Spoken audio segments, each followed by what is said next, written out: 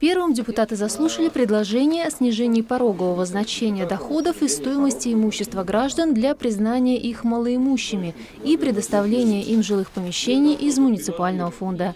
Сейчас оно составляет 5392 рубля. Решением Совета депутатов это значение снижено более чем на 200 рублей. Станет величину порогового значения доходов и стоимости имущества граждан, проживающих в Ленинском муниципальном районе Московской области, цели признания их малоимущим и предоставления по договорам социального найма помещений муниципального жилищного фонда в размере 5157 рублей. Далее депутаты рассмотрели вопрос о расширении списка лиц, имеющих льготы на выкуп жилых муниципальных помещений в личную собственность. Раньше таким правом обладали только те, кто работает в муниципальной бюджетной сфере.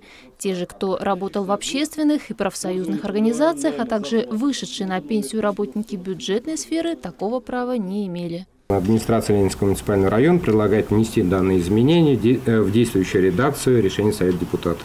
Также депутаты рассмотрели вопрос о передаче нескольких участков автодорог общего пользования и собственности Московской области в муниципальную собственность.